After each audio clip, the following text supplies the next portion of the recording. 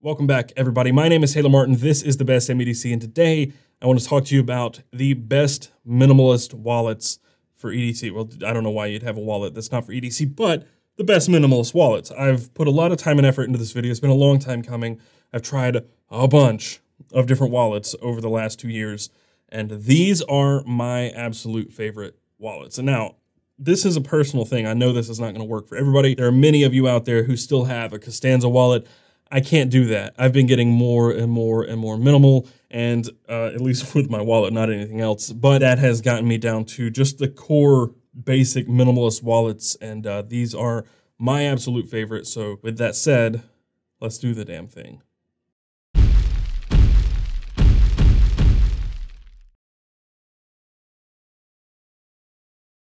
So we've got 10 wallets here on the table. I also have a few honorable mentions and recommendations for alternatives for some of these. But let's start with one of my most recent wallet purchases, and that is the Misc Good Company wallet. This is the V2. There are three versions, and really all that version is is the different colors. This wallet is an envelope style, very similar to some others that I've talked about on the channel before. And this one's recommended to me by my buddy Peter. He carried this wallet for a long time, loves it. But the difference with this wallet from the other envelope style wallets that I've carried is it's literally just one pocket. you throw everything down in here and that's it. And I, I kind of like that about it. It's got a little bit of style and character to it because you've got all these markings and engravings, such as this inscription on the back. It says, it will all fade along with you. It will turn to dust. So be generous and leverage it well. You've also got keep it on the front. And when you open your wallet, it says lose it. So it's got some character to it. I like it. It's a very interesting and different wallet. But this one, I haven't carried it a ton, but I, I do like it. Um, maybe not quite as much as the next wallet, but this is made with sunset leather and wax thread, and it will set you back about 58 bucks. I like it uh, quite a bit, honestly, and I don't know if I'm going to carry this one every day, but this would be a perfect option for carrying, you know, additional cards like membership cards or whatever in the truck, stuff I don't need in my pocket. I can throw it in this and throw it in the center console of my truck and then, you know, I've got that stuff with me anywhere I'm driving. It's very, very simple, just a single pocket with a flap. And there's something to be said about how simple it is. It's not trying to be anything extra very very basic and uh, it's it's it's up there as one of my favorites that said it does not oust probably my favorite wallet of all time and that is the das Offene Meer gun deck wallet this was sent to me by michael four years ago I, I don't know but i've carried the absolute crap out of this you can see it's got a lot of patina a lot of character to it. Uh, this was the original color down in here. So a much brighter, like orangey cognac leather. And now it's just this dark, beautiful patina color. I, I love this. This is the Buttero, and I opted for red thread. I had a thing back in the day for brown leather wallets with red thread. Uh, as you can see with my Popov wallet as well, brown and red. Uh, I don't necessarily care for that anymore, but this, it goes really well. It works for me. I like the gun deck a ton. If I were to buy another one today, I'd probably opt for a green thread because of course I would. Similar pricing to that Misc Good Company wallet. This is $55 and up because you can choose different leathers. The difference here is that it's easier to open. So the, the Misc Good Company is an envelope with it. It tucks in fully to the wallet. This one just slides out of one side and it's just easier to get into. And you have a little bit of organization inside. You've got two pockets instead of just one. So I tend to put my cash in the back and then quick access cards in the front and then just sandwich the stuff I don't need as much in the middle. So that's really all there is to this wallet. And it is easily, easily my most carried and favorite wallet of all time. The thing to note about this is that there are now newer versions. When I first got this one, this was it. It was the Gun Deck wallet and he had a few different wallets, but now in the Gun Deck, there's the top sider. So instead of it opening to the side like this, it's not a horizontal wallet, it's a vertical wallet and the flap is vertical. So the difference with that one is that you can actually put bills in it and fold them down with the flap. So it's kind of like a, a, bill holder as well. And then there's a quick draw version which has slots on the back so you can get cards out of the back without having to open the wallet. So different variants of the gun deck now, but the gun deck, just the tried and true original, is still my favorite. Right, this is a wallet I've not carried nearly as much, but I I do like it. It's very basic. It's more traditional, I would say, in that it's it's bifold style sort of. Um, I mean, I guess it is bifold. It, it folds in half. This is the Nut Sac Clipster wallet. So yes, Nut Sac, you can see it's got the acorn there. It's the company that makes the bags. They sent this to me a long time ago with no strings and I carried it some. You can see the card outline, but it's it's not going to hold your bills like a normal bifold wallet would. It's vertical, which I like. You have two card slots on this side, a card slot back behind this flap over here, and then you have a spring clip for holding bills. So if you carry cash, this is definitely the minimalist wallet for you. I don't know of a, a, minimalist wallet that does cash better than this. Just fold it in half, slide it over that clip, and you're done. Very, very slim. For a bifold wallet, this is about as slim as you could get. I don't typically carry a lot of cash, which is probably why I never carried this wallet a whole lot, but it's a little more classy than I think the other style minimalist wallets. It's very businessy. This one's not necessarily for me, but for people who do carry cash and want something slim and minimal, this is probably my recommendation to you. It will set you back $69, so it's not super expensive, not cheap. It's just a, a really nice, classy wallet. It's gonna last a long time. It smells great, it looks great, and if you do carry cash, it's probably for you. Since I don't, it's just on my list, but it's not my personal favorite. Another alternative that didn't quite make the cut is the Popov Leather five card wallet. This was one of my favorite wallets for a long time. I carried the crap out of this one too, as you can see. Very similar idea. You've got a vertical bifold. You've got four card slots on the inside instead of a flap, and then one quick access card on the outside. Really neat design from a really good maker, and I, I highly recommend everything from Popov. They make really, really great stuff, but this wallet just wasn't for me. I would much rather carry some of these others. But if you're more into a bifold style, more traditional style wallet, this would be it. If you, especially if you don't need to carry cash. If you do, I would recommend this one over it. All right, changing speed one more time before we get to just card holders, and that is the Card Caddy from Hitch and Timber. Uh, I carried this thing for like six months straight, and of course, this isn't just a straight up wallet. This is more of an organizer, but I carry this as my wallet for a long time. So you have a slot for cards in the back, another slot here, which could be for cards or cash. And then on the front, you've got these two pockets, which are designed specifically for a Victorinox Swiss Army Cadet and a Fisher Space Pen bullet. So, and, and, honestly, this could be the vast majority of your EDC. If you want a very lightweight summer carry, this is a really great option. You've got a knife, a writing utensil, and your cards and cash. Uh, the only thing you might need on top of this is your keys and maybe a flashlight if that's your jam. Love the Hitch and Timber Card Caddy. There's also now a Card Caddy XL, which instead of a cadet holds a Benchmade proper or something about that size, and instead of a Fisher Space Pen bullet, it would hold something more like the big Idea Design TI Click EDC. So You've got different variants in this, and of course, if you're looking at Hitch and Timber, there are tons of different options for organizers and all the different gear.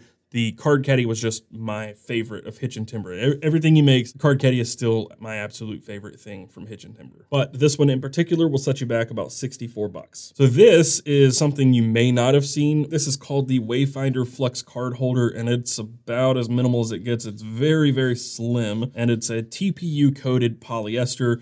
Uh, it's water resistant or hydrophobic, so if you get water on here, it just kind of rolls off. Really, probably a great summer carry, especially if you're going to be around water a lot.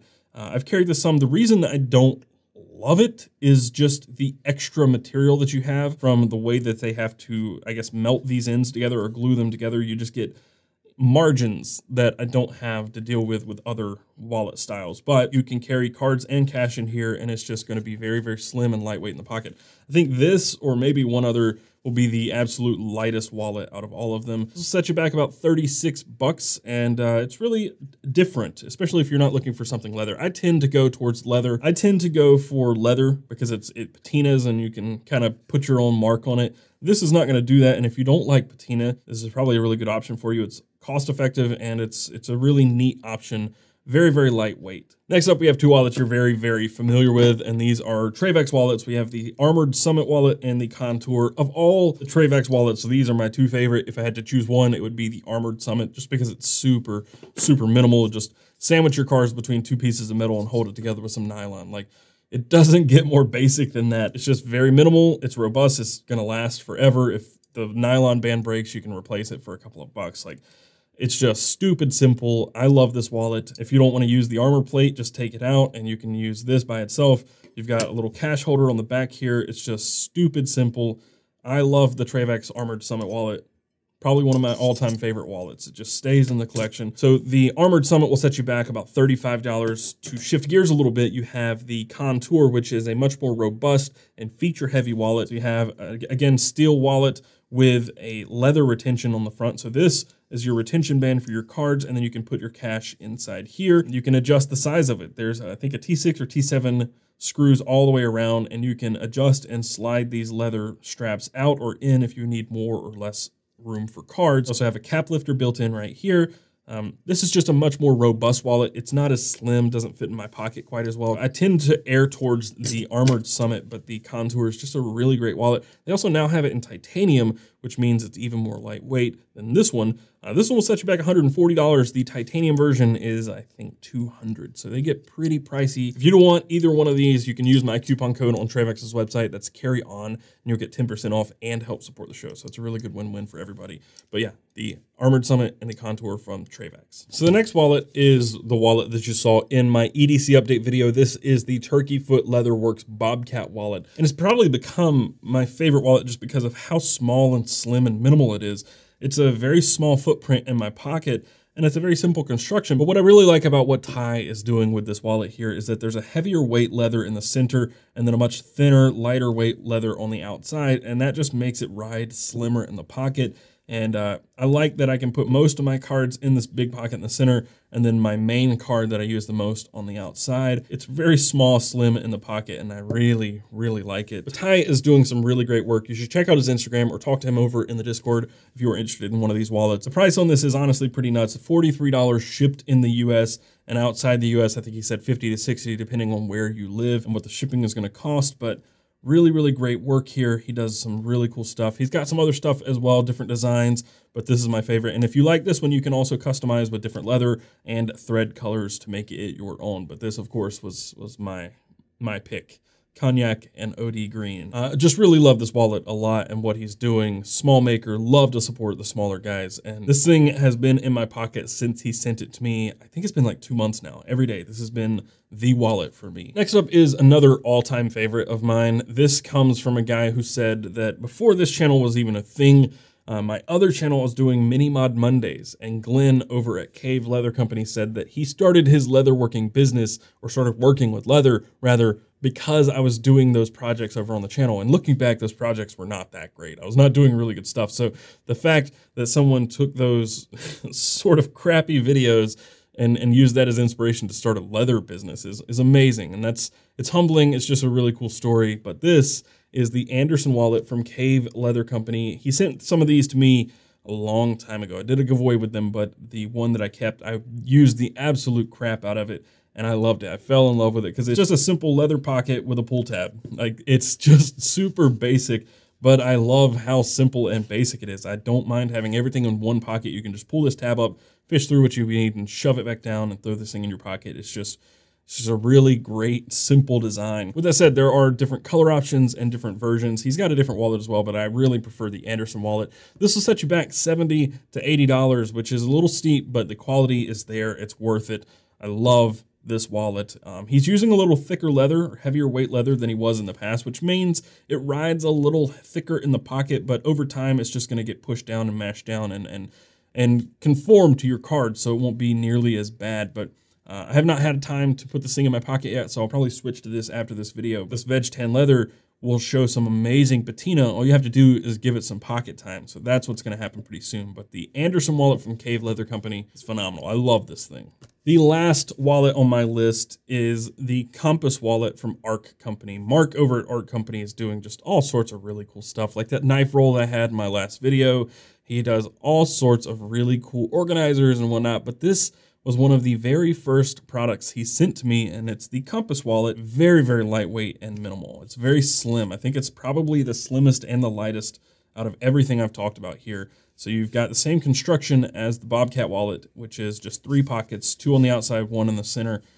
That's it, just very, very simple. It's a very common minimalist wallet design, but what's different here is that he's paired leather with Cordura. I love the combination. You actually can't get this version anymore. He no longer makes it with this leather. It's not the highest quality leather in the world, but that's okay. It's very, very slim, and this thing is going to last for a long time.